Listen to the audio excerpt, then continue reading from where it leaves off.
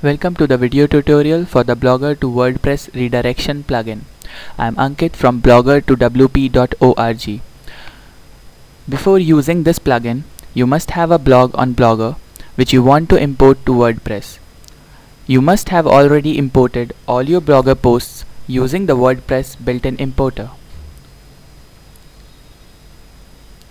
From the plugin menu, go to Add New and search for Blogger to WordPress redirection plugin.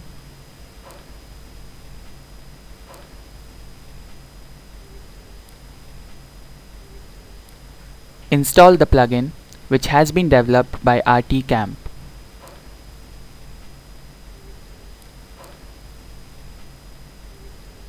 After activating the plugin, you can find the plugin options under Tools.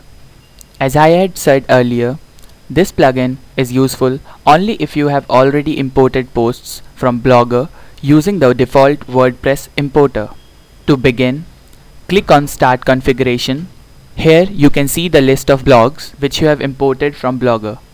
Now click on Get Code and copy the code for later use.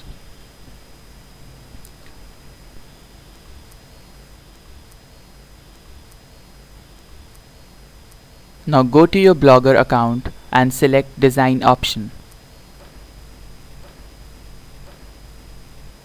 Now go to edit HTML tab. If you are not already using the classic template, click on revert to classic template.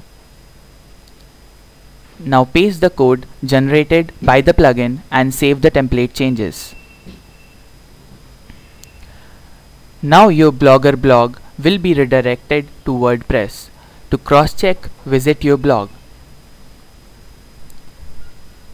To cross-check whether your posts have been redirected to WP or not, go to Edit Posts and view the individual posts.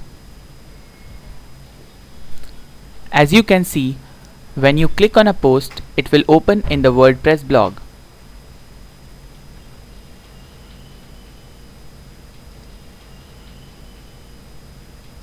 You can also verify the configuration from the plugin menu.